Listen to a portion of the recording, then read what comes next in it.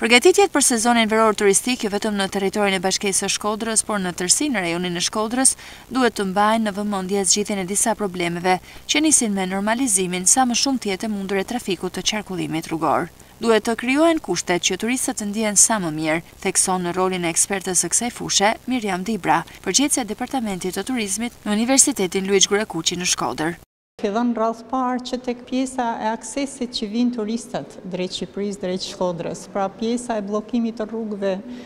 drejt zonave turistike, shumë problematike që duhet të menaxhohet, duhet të jepet zgjidhje kësaj pra mos qëndrimit për një kohë të gjatë i bllokum gjatë rrugës për shku drejt zonave turistike. Pastaj vjen pjesa e pastërtisë, pra që janë ABC-ja, e pastërtisë së zonave turistike, që duhet të merren masa që tani, por jo vetëm kaq, duhet për çdo ditë të ndërgjegjësohemi dhe ne si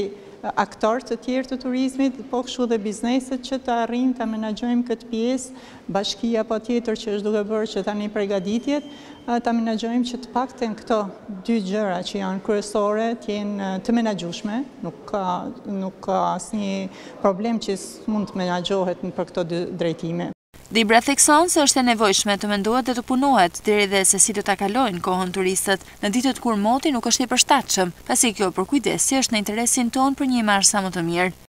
Shikimit të çdo zone jo si ishull, po të integrume me zonat tjera,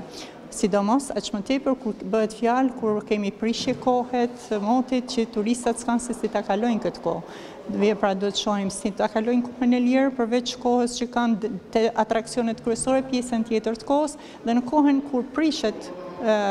moti dhe nuk mund turizmi zakonisht bëhet më shumë jashtë, si ta menaxhojnë këtë kohë turistët, pra duhet të jenë pregaditun agjenci dhe gjithë operatorët ta menaxhojnë në mënyrë që ato të mos mesin me një eksperiencë jo të mirë. Dhe tjetër dhe të shohin turistat kanë një kohë të kufizume dhe duhet të shohin sa më shumë gjatë kohës tyne dhe prate duhet ta shohin zonën e tyne të integrume me zonat tjera që t'i jepet mundësi të shohin diçka më shumë. Me shumë rëndësi është edhe informacioni, qoftë ana statistikore për mundësitë e akomodimit si në bregdet ashtu dhe në pikat malore, ashtu dhe informacioni që u intereson turistëve. Për ne si ekspert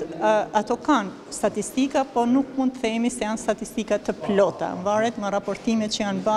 varet sa ka kënë shkalla e informalitetit, ndërsa për turistet po këshu është shumë e nevojshme që të kenë informacion në lidhje me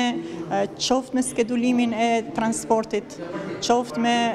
pjesën e ça afrojnë këto struktura, sepse ne s'i kena akoma as të as të